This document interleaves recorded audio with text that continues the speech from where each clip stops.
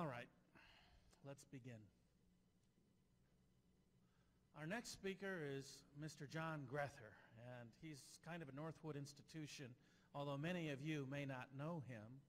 Uh, he used to teach in the economics department in the traditional undergraduate program before moving on to become academic dean and currently is teaching at the DeVos Graduate School. Um, he has received many awards and honors at Northwood, including the Faculty Excellence Award, the Senior Class Award, um, the uh, Sam Marotta Ethics Award uh, on multiple occasions. A very popular teacher. Um, I always uh, hear from alumni, how, how is Mr. Grether doing? And uh, so um, I, am kind of sad that this may be the only occasion that some of you have to uh, hear from him. But um, again, uh, he's on the faculty at the graduate school, and uh, so that might give you a, a, a sense of the kind of uh, education we provide there. In any case, today he's here to talk to you about the ABCs of public choice. Uh, would you please help me welcome Mr. John Grether? Thanks, Dale. Good morning. You've been here since uh, Thursday night, right? See, I, I, used to do, he didn't say, but I used to do what he does. And uh, it's, a, it's, a, it's an interesting event, and I know you guys are probably starting to really get tired. Is that right? So I'm going to try and make this le the least bit interesting, the best I can. Um, and some of this is probably going to sound a bit repetitive. I guarantee you there's some themes in this that you've already heard. Um, but hopefully I'm filling in pieces and giving you details that you didn't get before and hopefully will elicit some good questions from you. So the title of my presentation is the ABCs of Public Choice Economics. What is public choice economics? Well, it's fairly straightforward definition. Public choice economics to economists is the application of economic tools to political processes. Now, pol political scientists don't really like public choice economics because they've come to realize that a lot of the questions they would like answers to, they couldn't get the answers to with their tools, and it bothered them that the economists came up with them. So it's kind of tongue-in-cheek. A lot of disciplines have a love-hate relationship with economics because economics tends to be able to transfer into their disciplines and teach them things that they otherwise wouldn't have thought of. So it's a subdiscipline within economics. It focuses on political problems. And it is largely has been developed over the last 60 years, I would say. We can start around 1950 uh, to about now, is as long as it's been in existence as something identified as public choice. Uh, to give you a flavor for it, uh, I'm just going to walk you through a few of the main concepts that have been developed over time. And then we'll spend some time near the end of the presentation uh, discussing why should we care? Why does it matter? So we'll see how this goes. One of the first big ideas in, that we would assign to public choice economics was an idea put forward by a guy by the name of Duncan Black. And he created something called the median voter theorem. The median voter theorem says that if you have a two-party election or a two-candidate election running, and that voters are distributed politically in their preferences with a single peak. It doesn't have to be a normal distribution, but you've got two ends of the spectrum that are relatively extreme and most of the people are lumped together somewhere in the middle. That the only vote that matters is the vote cast by the median voter. So if we had 100 voters, 101 voters, let's make it easy. You'd have 50 voters on one side of the issue, or for one candidate, you would have 50 voters on the other side. There would be one median voter remaining. Their vote's the only one that matters. And so, as a consequence, political, political candidates are almost always pushing their agenda to capture who they consider to be the median voter. And as a successful uh, candidate will be the one that captured the median voter. The only vote that matters.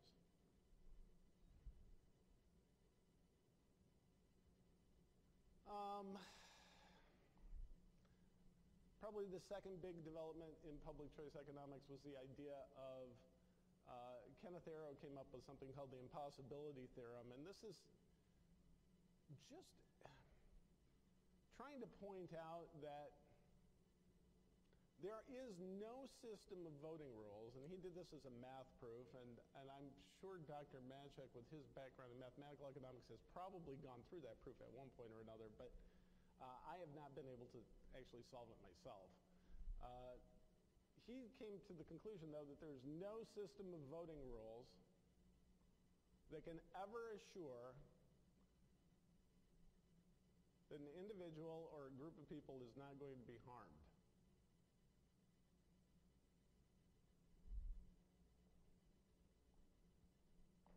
The only time it can happen is if you have unanimous consent, is where you would have no one harmed. But someone will always, under any voting system, be put in a worse position as a consequence of the vote. that that kind of, you know, that doesn't sound too good to me. I don't know about you, but. Third major concept of public choice economics is was created by a guy by the name of Anthony Downs. He didn't create it, he just identified it. Uh, and it's the concept of rational ignorance. Not sure if you're familiar with this, but because it is costly to know enough about something to really understand it and make good choices, if you believe that the benefit that you're going to receive is going to be less than the cost of making an informed choice, it's better for you to stay ignorant and not care.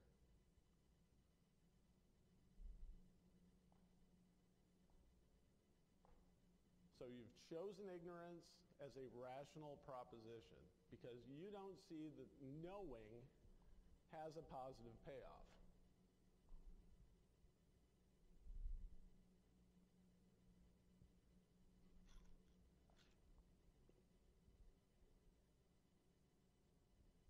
And we can get to the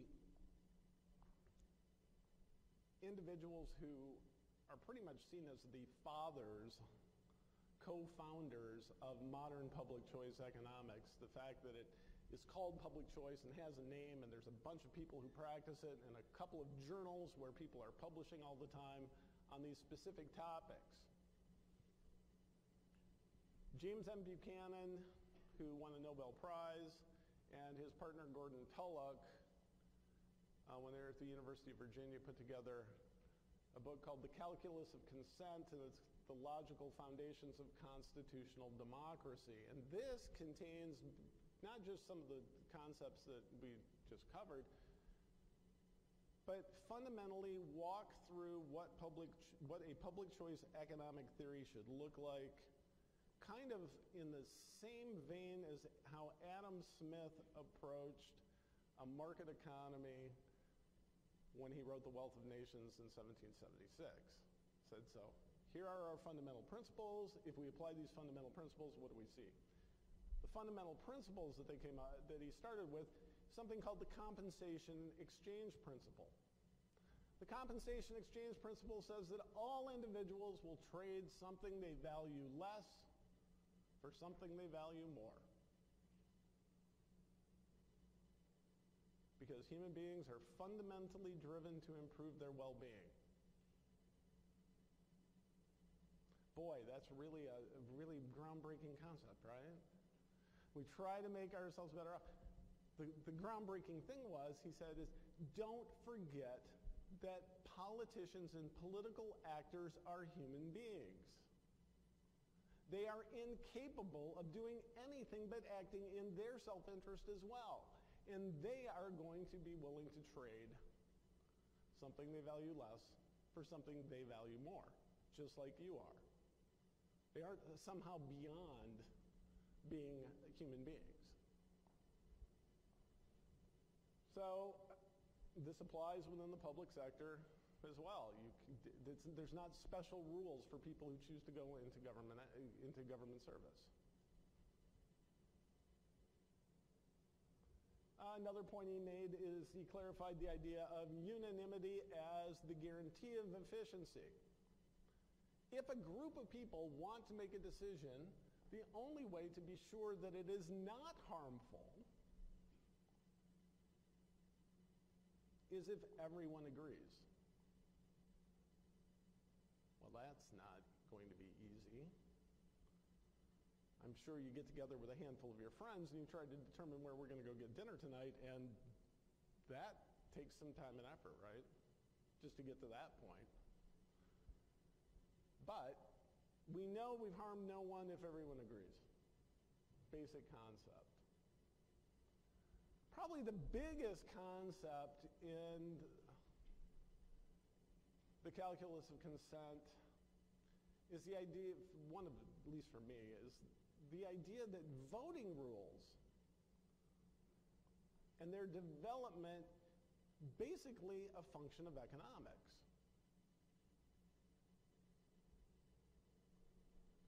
Now, I have this written up here in two different ways. The language that Buchanan and Tullock used were the discussion of external costs versus decision-making costs. That is the language of standard, what we would consider to be standard neoclassical welfare economics, the way of looking at economics, and it's the way most of your textbooks have been written. Okay, just put it in, in perspective the way I tend to look at it is in what's called the new institutional approach, where we talk about it in terms of social costs versus transaction costs. Transaction costs being those costs uh, required to actually come to, a, come to a transaction. So if I want to go to a store, I want to purchase something at a store, I have to get in my vehicle, I have to drive, it's taking me time, I'm spending gas. All of those are part of the transaction that add to its cost but are not captured in the product itself, but I have to take them into consideration. Decision-making costs the same thing. If you and I have to bargain about where we're going to go to dinner, it's going to take time and energy. Same thought. External costs and social costs, as they're described, are looking at well, you've probably heard them, as extra, heard them described as externalities. If I engage in a market transaction with my friend Dale, and our transaction somehow, either my act of production or his act of consumption, results in an effect spilling over to you, positively or negatively. In most cases, we're worried about if it's an external cost, it's a negative. we have to take that into consideration. So I decide to cut some trees on my property, split the wood. I sell my wood to Dale. Dale burns it. And hot ashes from his negligent fire burning end up in his next door neighbor's yard and burn up a bunch of bushes. Dale's neighbor has experienced an external cost. Or, as the new institutional economists would say, it's a social cost. It's a cost that happened outside the market. So given this idea that we have to worry about both external costs and decision-making costs, or social costs and transaction costs, Buchanan and Tullock came to the conclusion that voting rules, whatever rule we use to vote with, is merely an attempt to minimize the total cost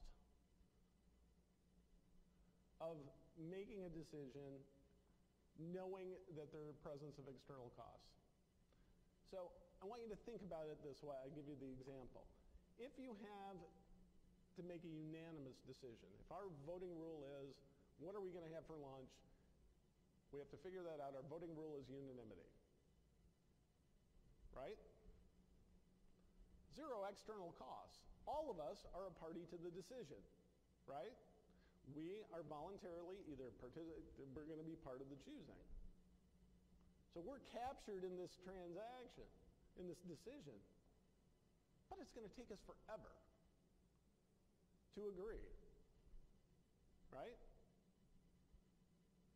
How many takeout places are there within a mile and a half of here? Right? Let's get the menus. All right, by the time we do this, you know, the semester is going to be over and, you know, we've all missed our summer jobs, right? So unanimity, zero external costs, extremely high decision-making costs. On the opposite end of the spectrum, you have autocratic rule. Doug Bandow was talking about um, the Marcoses in the Philippines, right? And they basically ran that country. Whatever they said, and if you were their friend, it, it happened. A whole bunch of people were adversely affected by the fact that the, the, the, the decisions were being made at a whim by one person. How quickly were those decisions made? Almost instantaneously because they were in the mind of the decision maker. It was like you've know, it was like setting policy for the Philippines was like Ferdinand Marcos's wife Imelda's decision to pick out a pair of shoes. It was a trans, it was instantaneous. I can afford it. That's what I want. It's going to happen. So the decision-making costs, not almost non-existent, everybody adversely affected. I don't know. I would imagine that there's at least a couple food, food allergies, if not food sensitivities in this room. There may be some religious preferences that don't, that, that don't like certain types of food, okay? So, and I like really weird stuff. So maybe for lunch we'll have sauteed crickets. I think I'm ordering that for everyone, okay? Decisions made, really good. Oh, and by the way, you've you know, it's all built into your Freedom Seminar tuition, right? You've already paid for this lunch, so um, it's all good. Now, you won't get the benefit, perhaps, but it'll be a quick decision. Majority rule, the one that you guys all default to.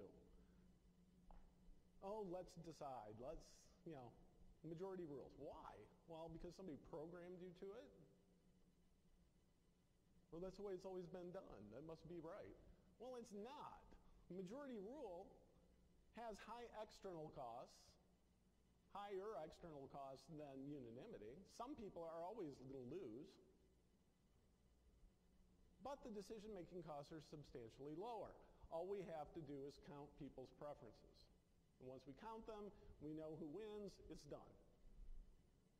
And you can use majority rule in a couple of different ways. You could do a plurality, which is if you have three choices, as long as one's got more than the other two, it wins. That's always fun. 34% of the people are happy. 66% of them are unhappy, but they're split between two alternatives that didn't win.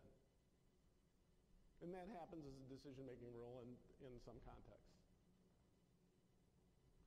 Another big thing that Buchanan and Tullock came up with is they started the development of something called the theory of constitutions. And they said because decision-making is costly and, u- and unanimity almost impossible to attain all the time, people realizing that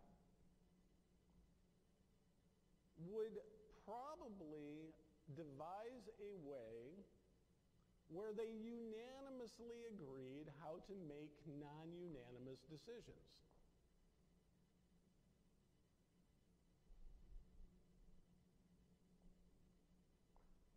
You look at the Constitution of the United States. The Constitution of the United States was an agreement among the 13 colonies that were in existence at the time.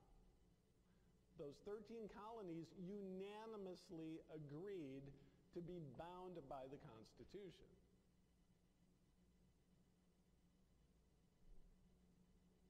But everything in the Constitution, there is nothing in the Constitution that requires unanimity after the fact not even modifying the Constitution. Because everybody realized that unanimous agreement is very difficult to attain.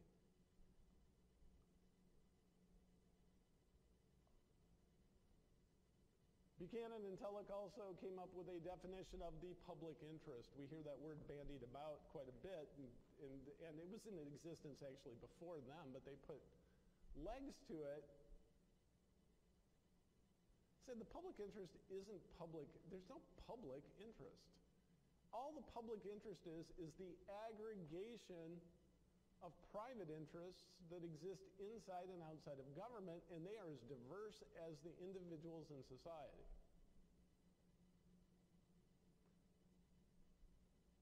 The degree to which they are held by more than just a couple people tends to get their, they tend to get the attention of the political system. But we'll see that in a minute.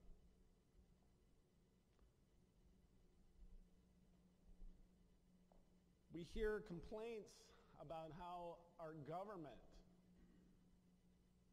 votes on bridges to nowhere and affords benefits for people who seem to already be ridiculously wealthy. how congressmen are evaluated on their ability to get federal funding brought to their districts. And that somehow that is a proposition of value for voters. Buchanan and Tullock, and some people will say this is cynical, but I think they were very straightforward about it, come to the conclusion that log rolling which is vote trading, which means that I want something done for my, for my purpose, my district, and if you vote for me, I will vote for you next time you have something you want. Right? Or pork in terms of, you're running that bill, let's add a little bit to the bill that gives me a little bit of what I want. Both of those are the form of compensation at work within legislatures That's what Buchanan and Tullock said. You're the representative in our government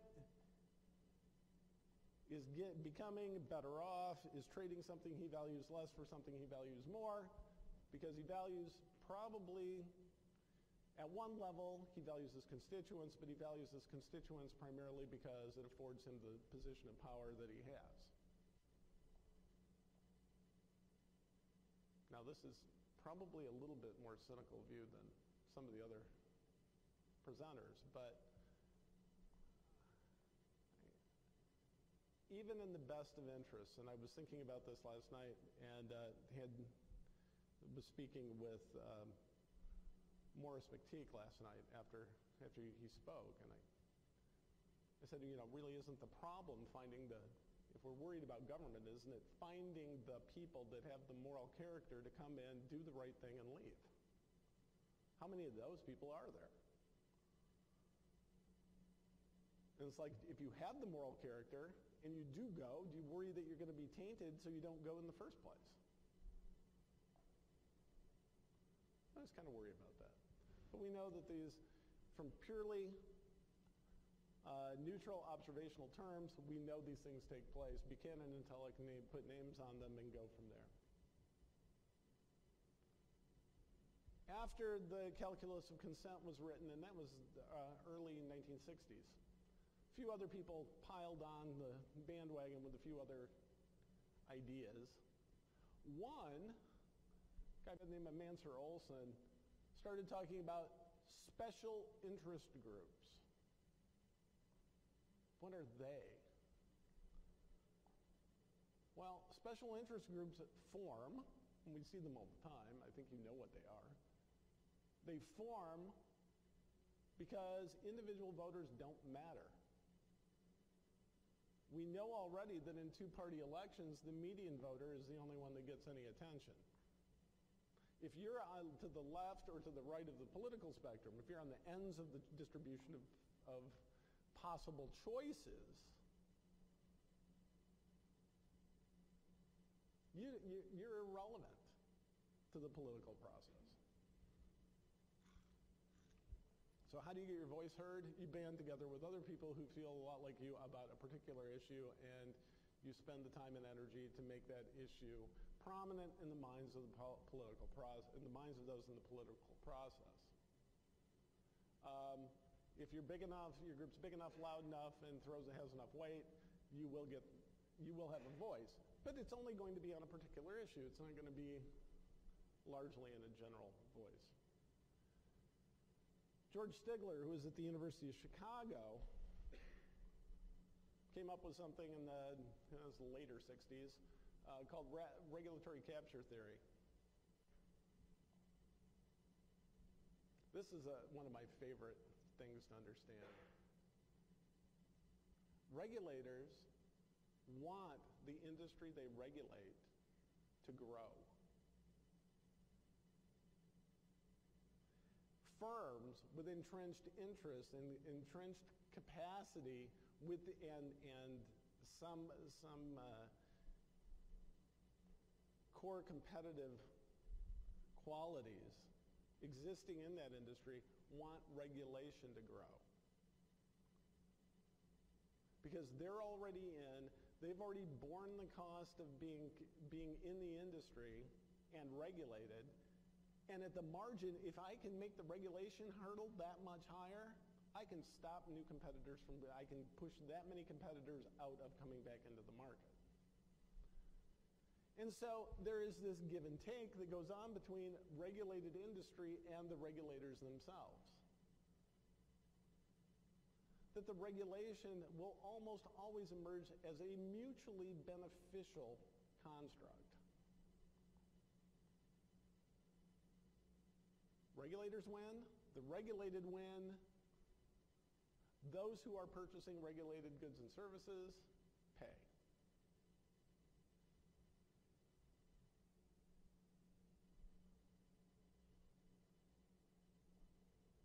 It's kind of an interesting dynamic. So we say that the regulators are captured by the firms they regulate. What's funny is you see this on a, on a personal basis too. We in the United States don't do a very good job of putting rules on this. A fairly standard practice is for someone to get a job, entry-level job in industry, and if they're okay at it and know enough, get far enough in to become a, a expert in a technical side of their industry, sometimes they can, if they make the right connections, they can get put into a regulatory agency. They spend a bunch of time inside the regulatory agency. They understand now how the industry itself works. They understand how the agency works. Now they go and they leave the regulatory industry and the agency and they go sell themselves back to industry because now they know how the system works. And then if you get far enough in that game, near the top, you know, you become, you can become a top administrator, you're worth some money. And maybe the government will bring you back. Now, all these interests are intimately interconnected in just the hands of a few individuals. And they pull all the strings, and the guys who are being regulated are buddies with the guys who are doing the regulating. Not just we have an economic incentive to come together. It's they are the same. They end up over a period of time being the same people.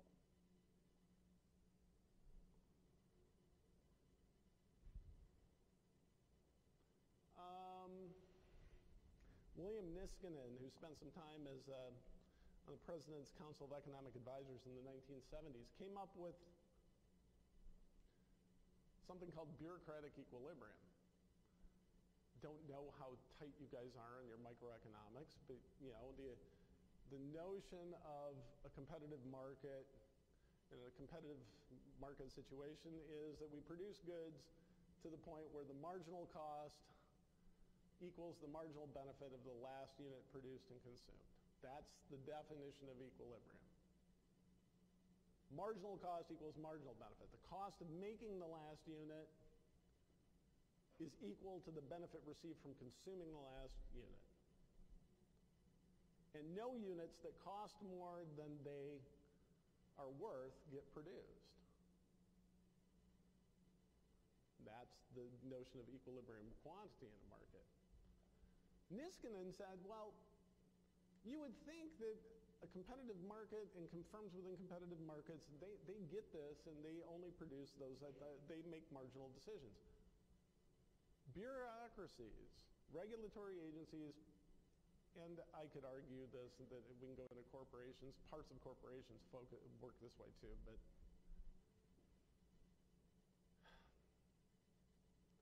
they get a budget at the beginning of the year. It's a cost budget for the most part. And basically what they're going to do is they're going to spend all of it to the point where their average cost equals their average benefit. Way more. They're producing units at the margin. If the marginal, if the average cost equals the average benefit, the net benefit has to be zero, right? That makes sense? Net benefit is zero. So their existence creates no value. Because they're going to spend everything they've been given. They're not, they don't have a point where they say, if I spend more than this, I lose money. If I spend more than this, I destroy value. They don't have that. They don't care. They just spend what they're given, so their net benefit is nothing. It's an interesting concept, but something that has, you know, theoretically, it makes complete sense, and I've practically never seen anyone in government ever tried to justify the contrary. They don't care. They've been given money to spend, they make sure it gets spent. They're not too concerned about it because no one holds them accountable to that.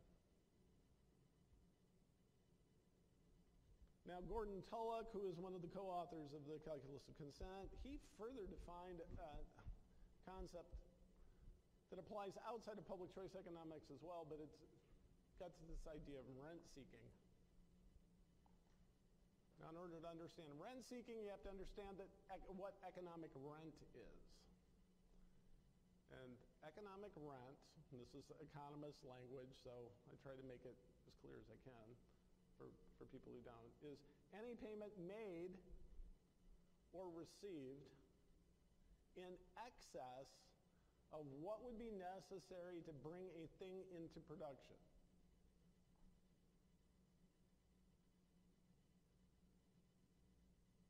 So we know that to bring something into production in a competitive situation, we would expect that the marginal benefit exceeds the marginal cost. In that condition, we could be sure that it will come into existence.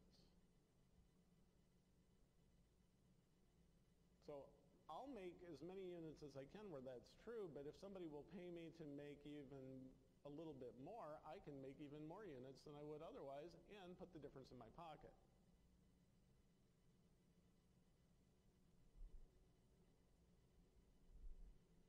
So let's say I live, I'm in a market where it's fairly oligopolistic. The firms are evenly matched. We've got three firms.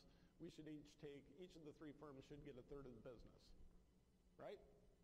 Seems pretty straightforward.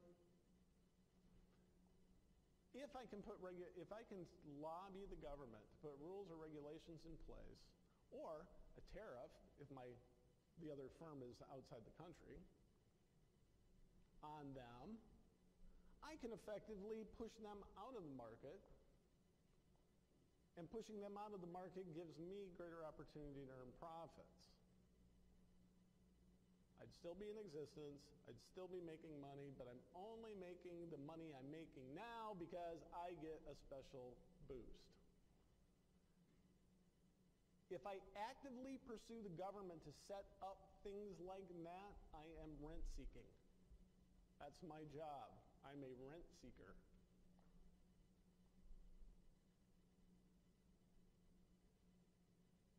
Don't know how many of you guys are from, Midland, from Michigan, but uh, up around Midland and to the into the thumb, we have a sugar beet industry. Sugar beet industry is economic nonsense. It is one of the least efficient processes known to mankind. It's got a high, there's a ton of technology that has been developed to do something that is, in the grand scheme of things, useless. The whole industry exists only because the government of the United States has a quota on imported sugar.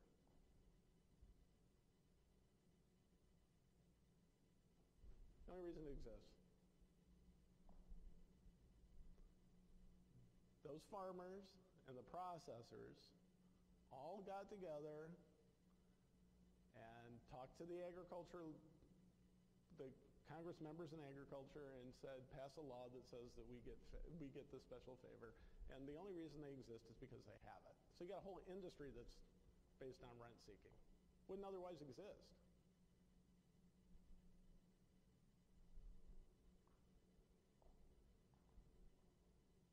So what do you do to do that?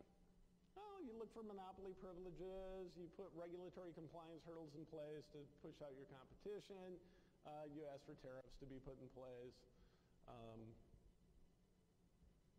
I, the ETC there, the et cetera, might be uh, do something like a company called Archer Daniels Midland did for a while, which was, you know, I identify somebody in the family of the, the shareholding family that started the company and um, have them run bribes through Congress until they get thrown in federal prison, and then hand that job off to another family member.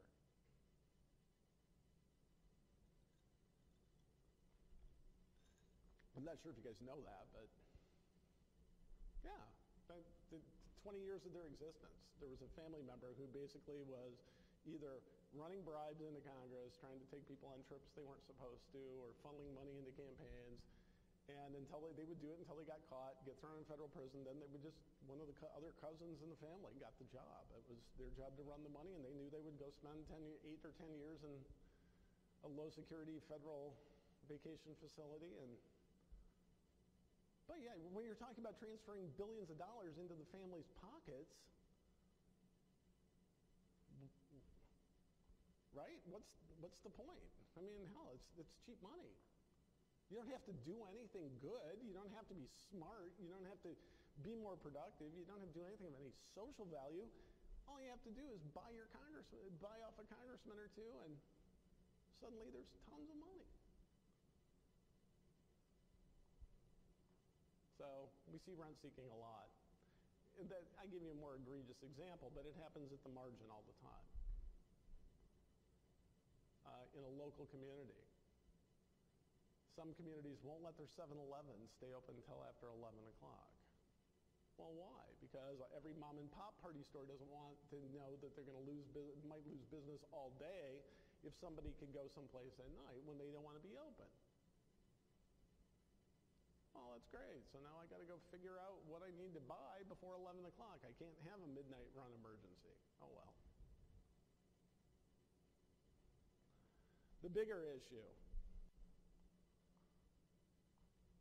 for me, or, or at least I think that we want to talk about, is came out of public choice discussion. It's the notion of government failure. Lots and lots of economists made a living through the bulk of the 20th century at the, after the advent of what we would call formal welfare economics talking about market failure. Market failure. Markets fail. Well, why do they fail? They fail because there's a typical, uh, some typical arguments around that, right? Market failure is lack of competition. Market failure happens in the existence of externalities.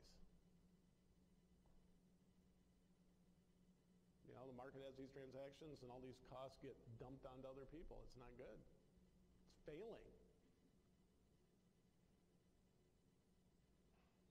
Those are the, those are the two primary ways, right? But, so markets are bad. Plus, the people who operate in markets and, and supply them, they're, they're just greedy, right? It's, it's bad. But there were both economic and social arguments that got made about the fact that markets aren't necessarily doing what they need to do. The pure economic argument being that a lack of competition or a transfer of costs onto other people are not good things.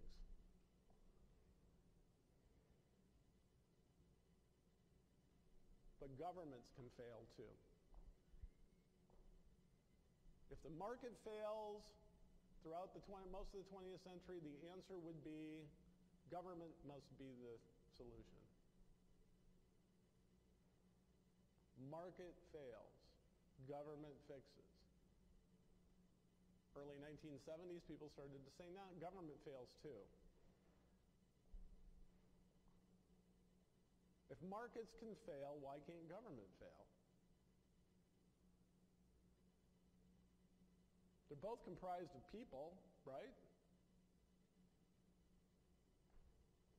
So, Tullock put forward this definition of government failure. He said that it occurs when government action creates a less efficient outcome than the market would create, or than would exist by doing nothing. Now, Maurice McTigue last night said that, you know, one of the great, great things, a, a good politician will at some point realize that part of his job is to not do anything.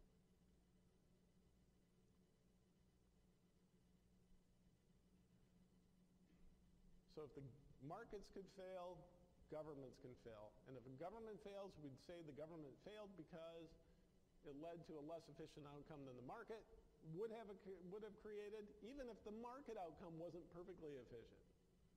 It's even worse if we let the government do it. Or the outcome is worse than we would exist if government hadn't done anything in the first place. Make sure you kind of understand that. So to me, this is the point that drives us to a more interesting discussion as opposed to, you know, here's some neat observations about how economics applies to government. I would like you to see maybe a little more to that.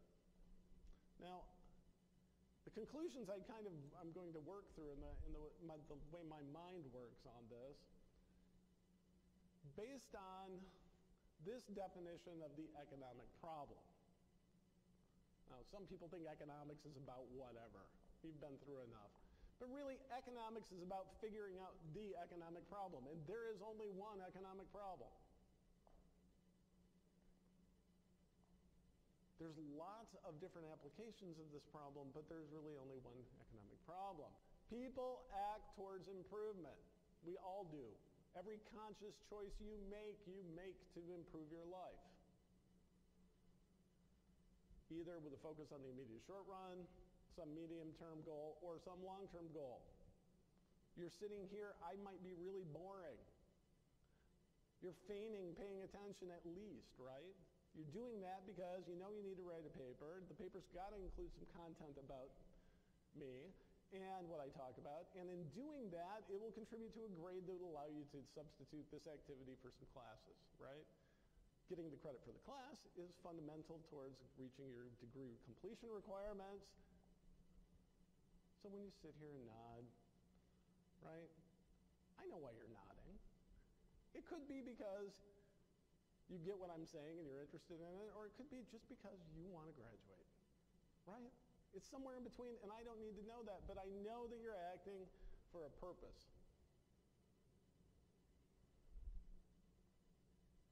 So I know that. I know that the means to improvement are limited. We all have limited access to resources. Resources in a whole, on the whole, have some limitations to them. We don't have, you know, unlimited amounts of some of the things we need. In for everybody's need to be met, so because we have scarcity, but we also have limited access at the time when we need things. So it's scarce in the moment. Here's the other thing that a lot of people don't think about, but I, I think is probably the most, uh, one of the most important things. When you draw a supply and demand graph, everything's given, right? All the prices and all the quantities, and they're all known. Well, the, the fact is, in reality, none of that is known. It's guessed at. And people possess limited knowledge of both their future needs and the means to meet those future needs. So I know what's going on right now, but I don't know what's going on in the future. The further into the future I'm looking, the more it looks like a guess, and the less it looks like anything I really know. So the future, some people will say, has elements that are known, probabilistic, and unknowable, right? You don't know, and you can't know everything because your mind isn't big enough. My mind isn't big enough. No one's mind is big enough to know all of this, to know everything they would have to know to be able to foresee a future. So we all have limited mental capacity to do this. We have limited access to the information that we could use that would allow us to make those decisions if our minds were big enough, but they're not. And we can only really know and plan for futures that look something like the past or the present that we are experiencing, have experienced or experiencing. Crazy stuff can happen right? Totally unexpected, out of the blue. Well, that could make, a, you know, some unforeseen event could totally displace any of our plans, any of our knowledge, any of what we want to do. Beyond that, even if we could acquire this knowledge and had a crystal ball, it would still cost us something to get it.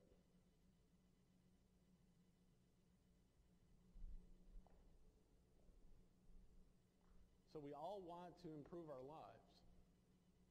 But doing it, that act of improvement faces some pretty severe constraints, right?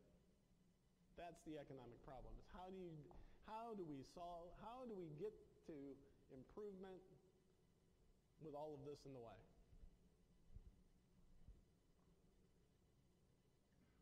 So, I'll posit that we have two choices. We can get the things we want and improve our lives through markets, or we can get them through the government. Now, we can get them by ourselves, but I don't think any of us can operate in a, in a state of complete independence. I think that's kind of silly. I don't think anybody even thinks that way anymore. Unless you're a prepper. then you might, right? So I'm sure this has been said over and over again over the last two and a half days. Am I right, Dale? Market choices are win-win. That's one of the great things about them. Nobody engages in a market exchange and make themselves worse off. Both the buyer and the seller benefit, always. Every instance. Never uh, does it happen otherwise. Now, you might have buyer's remorse after the fact, and the seller, like GM, might have remorse after the fact by selling a faulty product, right? Those things happen. You buy a faulty product, you sell a faulty product, all sorts of bad things can happen. But at the time the exchange is made, both parties see their lives as having been improved, right? You go to the convenience store, you put down, put down a buck and a half, you get a candy bar. The store takes your buck and a half and gives you the candy bar, right? They value the buck and a half more than you value the candy than, than you value the buck and a half, and you value the candy bar more than they value it. Both win-win. We're both better off. It's great. What's cool too is that market prices over time will, and, and in concentration will signal changes in supply and demand that allow for better planning by consumers and producers and thus better future choices. Prices are cool. I think I want to go on a car trip. I have this amount of money to spend. Oh no, gas prices just went up 60 cents a gallon. It's got to be two days shorter. There's a hotel that doesn't get bought, right? All of that's the plan. Well, if I come back a day earlier, I can take one less day off of work. Maybe I can still afford the trip, right?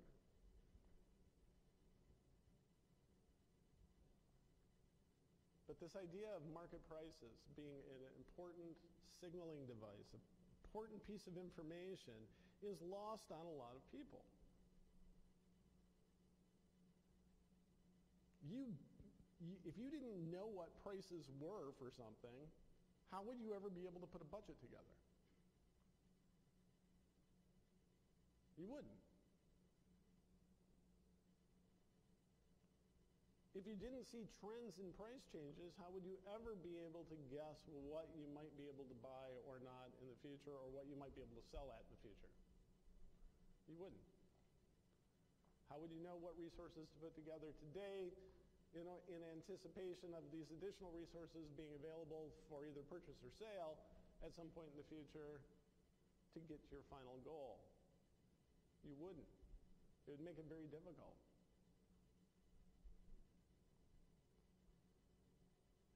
And the last point is that market choices reinforce responsible behavior. You've had, you've had people speaking about the, the morality of markets. Uh, the, you know, it, it, there's, a, there's a level of responsibility that's imposed in the very act of owning something and being able to enter into a contract to exchange it with somebody else. You have to look at people. You have to give your word.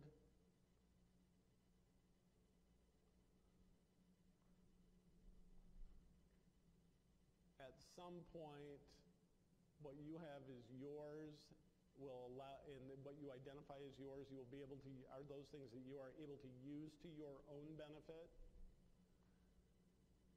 There's all sorts of incentives. Treat your property right, treat other people right,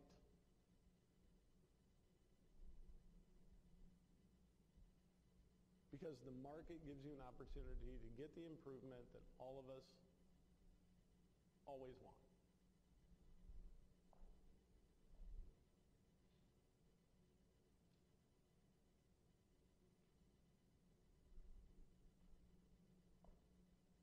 Here's your option for government choice. Right? Market choices are win-win. They're voluntary, right? I'll go back to that. it's a voluntary activity and there's mutual benefit, right, for a market. The government, the activity is involuntary and coercive. You're doing it only because somebody's telling you to. Or if you're the person who's getting it done for, you are actually engaging in using the government as a tool of coercion to get what you want from people who otherwise wouldn't give it to you freely. And this, if we look at it this way, you know, government's just like a giant gang or a mob. It's the mob. Organized, it's just a different form of organized crime. If we're not worrying about, if we're not worrying about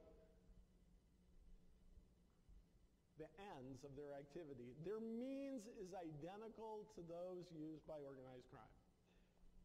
Don't forget that.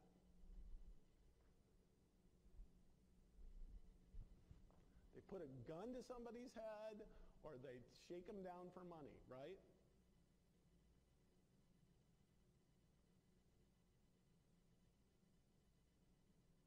You guys, did you guys see that? If I have to make you do it, right? Why is one force of one way of making you do it legitimate and another one not? Can't remember who it was, but it was a fairly, fairly famous economist who said uh, at one point that when, when walking down the street, you know, that he would rather be, if he had the choice, he would rather be mugged than taxed. He'd rather be mugged than taxed because if he's, when you're mugged, you know which neighborhoods to avoid. The tax man is everywhere. And he didn't see a difference. Okay. The other big point of this is that government choices have reciprocal costs and benefits. This was a point that was made by an economist by the name of R.H. Coase in, uh, in a paper called The Problem of Social Costs that came out in 1960. Um, up to this point in time, government was seen as this beneficent chooser that was somehow godlike and had, had access to special information that nobody else had that somehow made their choices always that much better. And he said, well, no, they're just, government's just making a choice. They're choosing a winner and they're choosing a loser. If they say this is legal and this is right and this is illegal and wrong, if their right is to choose, they can just swap them, right? They can say this is right and this is wrong. So you live next to a, you live in a house next to a building that has, uh, decides to put a record studio in the basement. Place vibrates. So loud. You go and say, I don't want you to make that noise because you're imposing a cost on me. Right? Well, yeah, but if, if I'm the record, st- if I'm the studio, I decide to say, yeah, but if I have to be quiet, you're imposing a cost on me. This is a point Coase made, is that, that your co- one person's cost is the other person's benefit, and the other person's benefit is the other person's cost. So it's not mutual, it's opposite. Also, we see that because of government choices, government choices to the degree that they look like regulation and that they uh, touch on the fringe of a market, they can confound market signals. So when we know about relative demand and supply from changes in market prices, well, when the government gets involved, now we don't know. Not as clearly as we would otherwise. Government passes a regulation somewhere in an industry that is part of a, a fairly long supply chain, it could actually just you know, there could be a market that I'm really interested in, and I think the information in that market is pretty clean coming to me, but it's been contaminated by markets, by government intervention in another market further down the supply chain. I still might not get as good of information as I would have otherwise. And remember, I live in a world where I don't know a lot and I know even less about the future. So the better information I have, the better choice, chance I'm going to have to make a decent decision.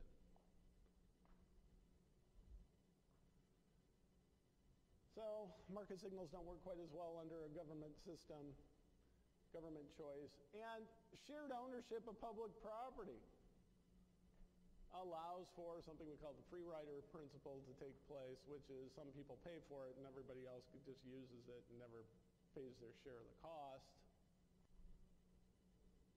or they just don't take care of it at all.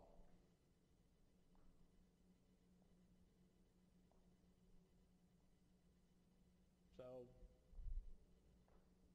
some people are going to pay for it. Hey, we want to have a nice park. It's okay. Then why is everybody dumping their garbage in it? Because there's no, they don't feel any responsibility to it. Michigan has a bottle bill, right? We all have to take our bottles back and get, get our 10 cents, right? If anybody spend any time traveling in, the, in states where they don't have anything like that?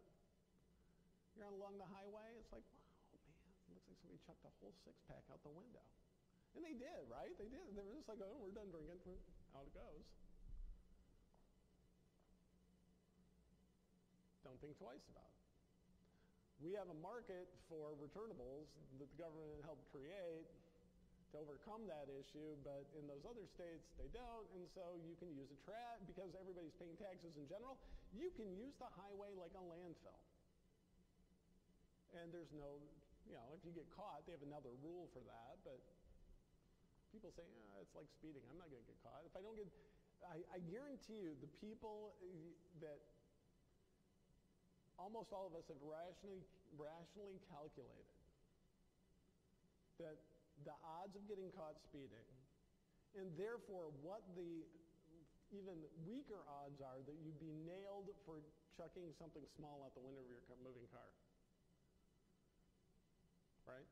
Because you get a ticket for, for, for dumping trash out of your car, right?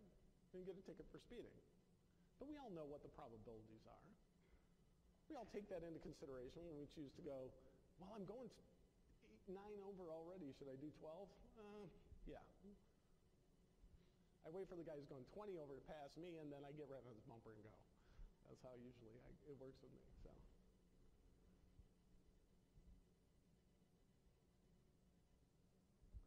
Government choices are imperfect. So are private choices, but the interesting thing about government choices is that if information is costly and the future unknowable, that there's always a risk that a choice is wrong. If I enter into a, a choice personally, if I'm wrong, who pays? I do, right? I take responsibility for the, for the bad, ill consequences of my poor choices.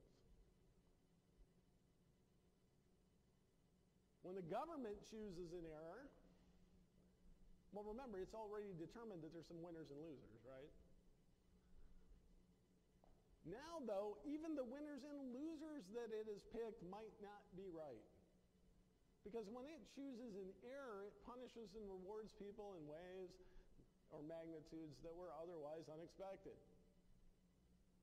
So some people are going to win or lose, but even when the government's right, the people who win aren't going to win exactly like they figured, and the people who lose aren't going to lose either more or less. It's right. It's all kind of a mess. And the government chooser may face personal cost of this error. So, right, I'm your congressman, and I say, oh, let's do this for the district, and then it doesn't work out really well, and the voters catch wind of it, right? I might, I might lose my position. That would be the worst of it. But it's probably, that's only if it was something that really was locally focused. In general, though, I could spread the cost off of, cost over all of you. And let's say it costs, think about this. I made a mistake that cost $300 million. If I did that, right? I made a $300 million mistake. If I'm in a private company how, how likely do you think it is that that gets noticed? By the shareholders. By the people it's important to. It's probably, that's big, right? But if I can, if I do it in government, and they don't tell you specifically, at most it's a buck to every one of you. Because we've got over 300 million people in the United States, right? How much time and energy are you going to spend worrying over a buck? Not more than a dollar's worth of time and energy. That would be silly, right? So when the cost gets distributed again across society, then we don't even, aren't even aware of the magnitude of the decision of the errors. But there's lots of these little errors that can be made all the time. Um, these are unintended consequences. I would argue for the most part that the government doesn't plan that the world works this way. It's just the way it happens. And regardless then, regardless of intent, the outcome is going to be arbitrary. And this is the first of the ABCs.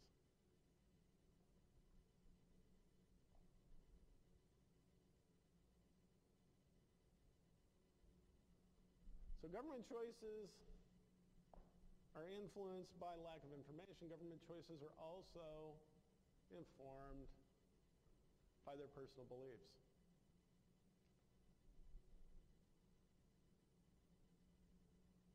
There might be a bunch of data on something, but you know, and, I, and I'm not going to start an argument with anybody, and I don't mean this in a bad way, but you know, I, I think natural selection might have a slightly better data-based argument than pure creationism, like with the literal biblical calendar. Okay, that's all I'm saying. I don't, I don't mean to, to me it doesn't matter. I wasn't around then. Uh, the world is the way it is now. Uh, the origins really, I, they, they tell me nothing about how to live my life, so I don't care. Right? But one of these is based on data, and one of these is based on belief, right? Well, if I ignore the data and choose just on belief, then the decision is biased. That's by definition it. Something I, I prefer or like or know or believe because I do absent any data.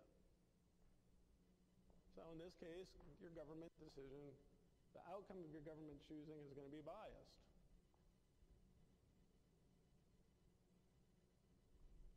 How about if you're how about if your government chooser, whoever they are, elected representative, regulator, you have it, is being influenced, choices are being influenced by incentives or compensation from others.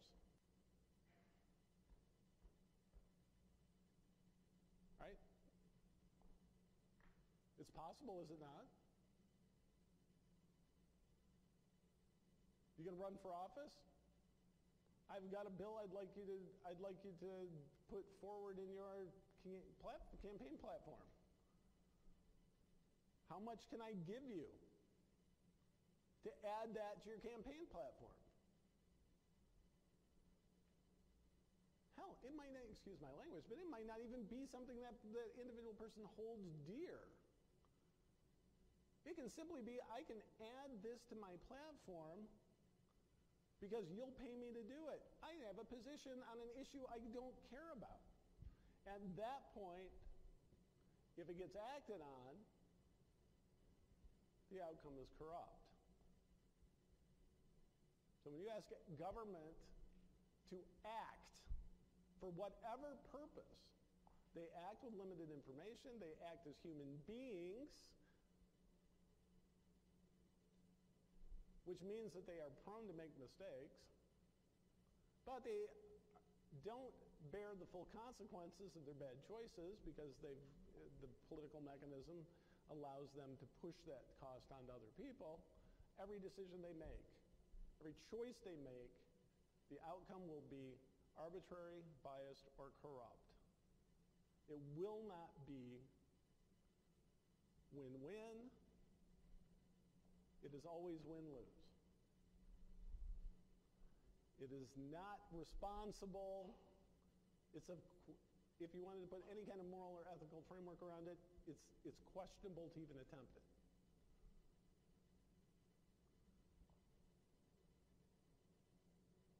All government choices are arbitrary, biased, or corrupt. There's always winners and losers. The winners and losers may be different than intended. There's always an opportunity to fail, and the failure could harm everybody. So, if government choice lead to unfair or inefficient behavior, why use it at all? Well, we've already said there's times when the market fails. And if the market fails in a way that has wide, wide-ranging effects. There's probably an incentive to have government involved.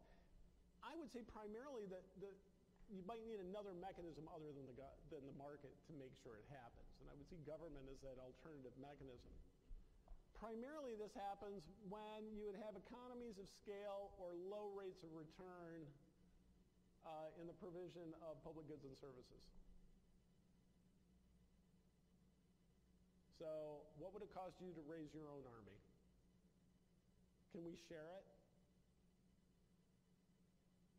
If you, we have, if you build an army and I build an army, is one of the armies redundant? If it's really big?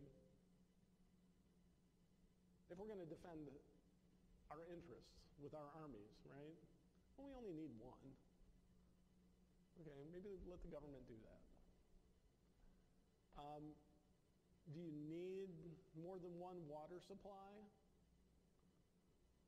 Do we need three streets running between the same two houses?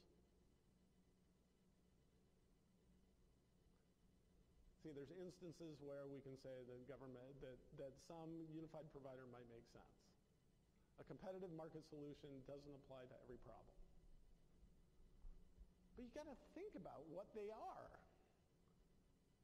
To me, public health and safety, infrastructure, and then the fact that we probably need somebody to adjudicate fundamental rules of law around people and their property. After that, I'm scratching my head.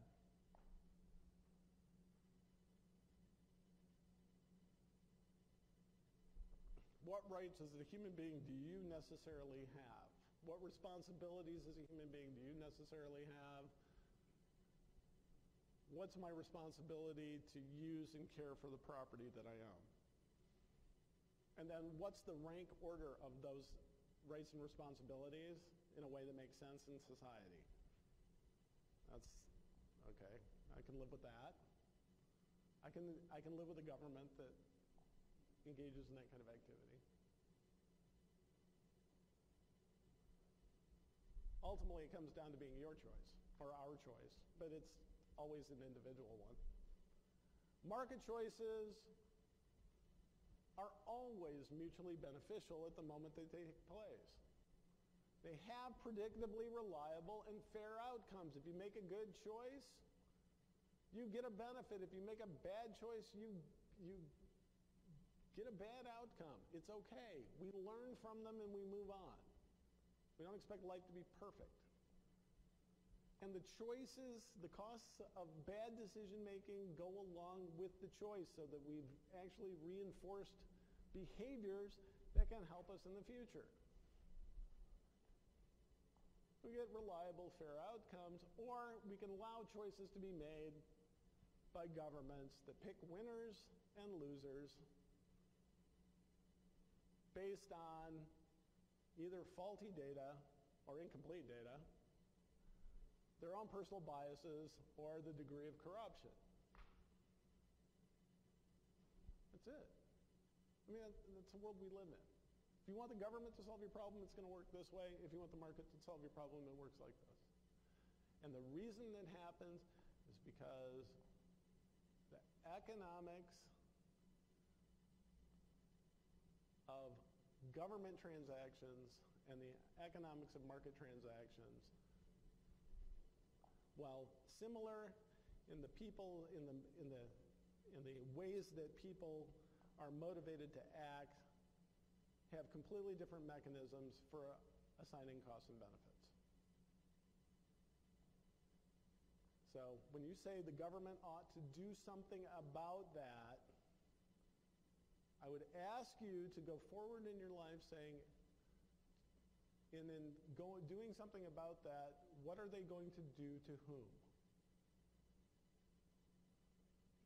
Because that seems to be the forgotten part of all of this. That a government decision for our benefit is going to cost somebody something. And if you're bright about this, you're going to realize that that other somebody isn't going to let that happen for long before they ask the government to do something to you to get even. So, you know, I go back to one the comment I made earlier. You got Republicans and you got Democrats. You got red states, blue states. You got Crips and Bloods. I don't care. It's all the same. All right? So that's it. Have any questions? I didn't leave much time for them, I see. I have a question, maybe a Sure. comment. Uh, recently floating around the internet on the anarchist memes page on Facebook, they showed a picture of a deer path and they said, oh look, deer formed a government because they made a It showed road. a picture of what? A deer path through the woods. Okay. They said, oh look, the deer must have formed a government because they logically chose the best path through the woods. Right. Um, you said fundamental to this is that there was a fundamental basis in law, but isn't it also true that you could have fundamental sets of laws that interoperate that are fundamentally different? In so much as you could have a group of people who respect personal property rights and you could have another group of people that don't, but they could still interact in ways that are fruitful for society. Well, and I limited my, uh, I agree with you completely. I, I limited my discussion to those, those laws that are necessary to allow for a market to operate. If you didn't, if you didn't pay attention to that, all you really need is an assignment of rights and responsibilities and a definition of property rights. Once you have that, markets form by themselves. As Maurice said last night, it is a spontaneous order. You don't need anybody to plan it. As soon as you have the right to something and it's guaranteed, and somebody else has the right to something else, people will start exchanging. You don't have to worry about it. And they will exchange in ways that are designed to, to improve their lives, right? Because that's what we do. We don't act to make our lives worse. Nobody does. So yeah, there are people who get a hold of the law, the legal process, in an attempt to undermine the market. And so then you can have laws that, that do get that way. You want to know what you do about that? You just try to move as much out of the market as possible, uh, out of government and into the market as possible. If you listened last night to the story about New Zealand, that's what they did. They found things that the government was trying to run that they knew they, that there was no sense in them running other than it allowed somebody to get away with making more than they should have for less effort, with less benefit to everybody as a consequence. And so moving things that make more sense into, you know, that unless, unless you've got a compelling reason to let somebody hurt somebody else, you have to leave it outside of government. So to me, when somebody says, I need a law that gets me this benefit, and I don't care who pays, they're thieves. I don't care what they're, I don't care how much they love the world. I don't care how much they say they, they care or how, how immoral they think they are. They're thieves. The only thing that's different is they're not holding the gun. It's just, they're just paying the guy to go take the gun and put it to your head and making you pay and then coming back, give him a cut and taking it and sticking it in their pocket. That's the difference.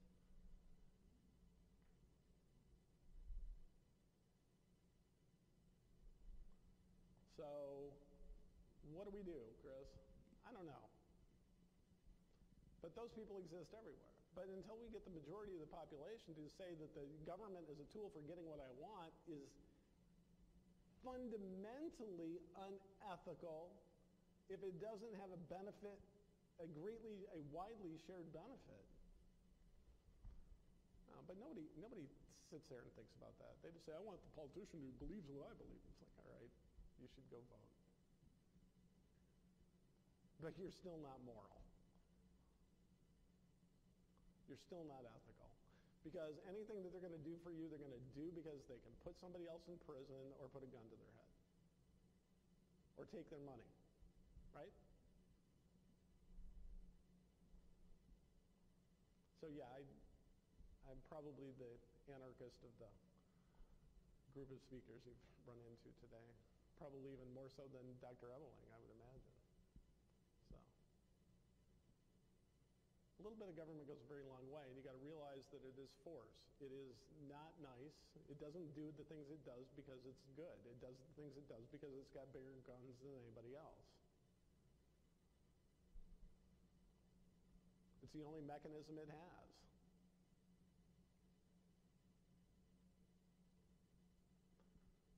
So you must be very careful.